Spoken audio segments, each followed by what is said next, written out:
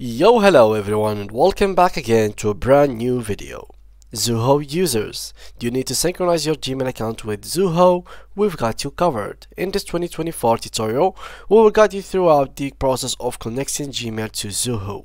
Whether you are using Zoho Mail or business communication or for personal organization, we will show you how to integrate it seamlessly. So let's get started. So before we start with this video, make sure to watch it from now till the end so you have the full information. So guys, for this specific video, we have two requirements of course. The first one is to own a Gmail account or Gmail email. It's pretty easy to make one. You simply by going to your Google Chrome or by going to Google and accessing their websites, you will have to log in and by logging in, uh, you will either choose to log in if you already have an account. If not, you simply have to create an account. Also, you will need a Zoho account. As you can see here, Zoho is not simply any account. It's basically uh, a website it is an application. So make sure that you own an account within Zoho now to connect it the simple way guys like from the beginning I'm going straight forward for the tutorial.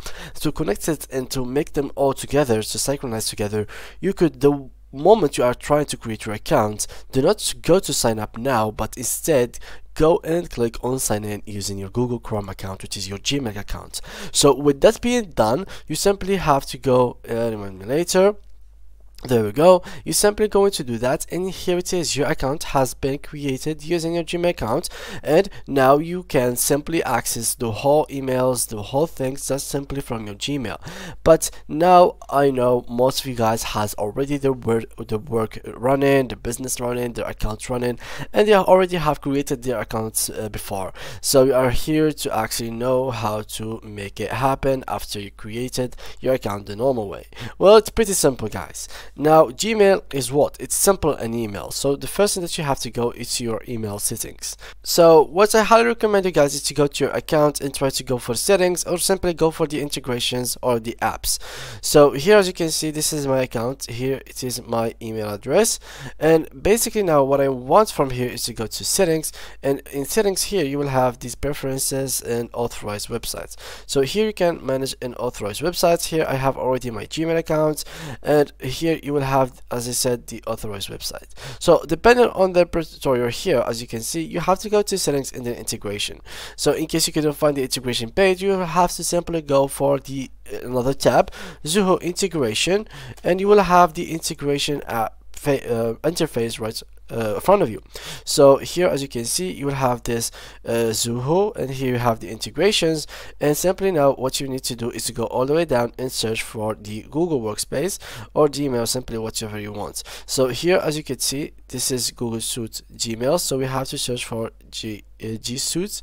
So let's go all the way down and search for it so view all extensions and now we simply have to go for the marketplace.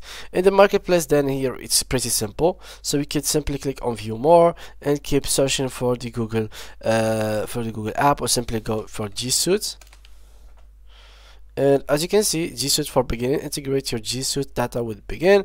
So here it is the same thing. So note when you integrate with Gmail the following details will be shared with them. So here as you can see literally here you will find everything you would need. So you will be sharing organization name email address username address and country. So these are the necessary things that are going to be shared. So what I'm gonna do is to simply do the same thing. So let's search for the G Suite or Gmail depending on what you want.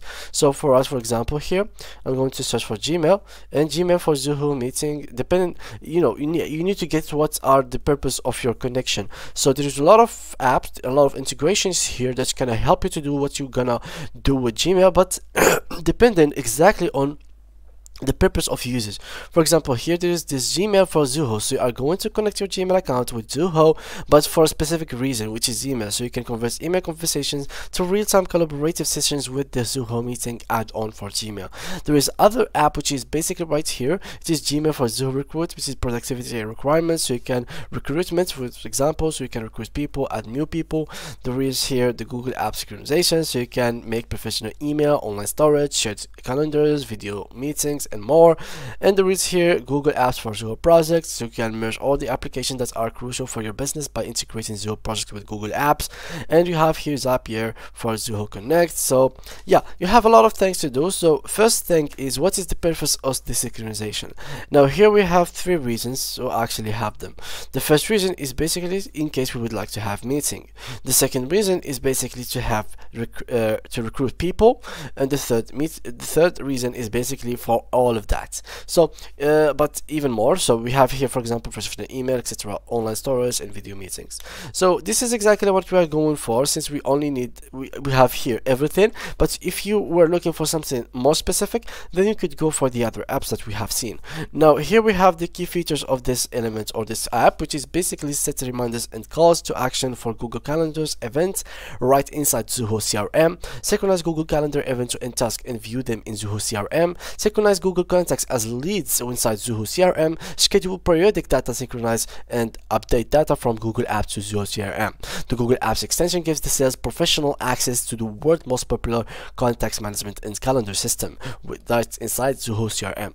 With the add-on, users can synchronize their Google contacts and events into Zoho CRM from both their organization as well as their personal Google account. So this is basically the main reason why you want to use this. So now you simply have to click on install, go to Zoho pricing page, and from there you could literally install whichever extension you would like to have. So we simply have to wait, and as you can see, this is not for free. You could have the premium plan. Here, I would like to simply have the add-on for zero dollar.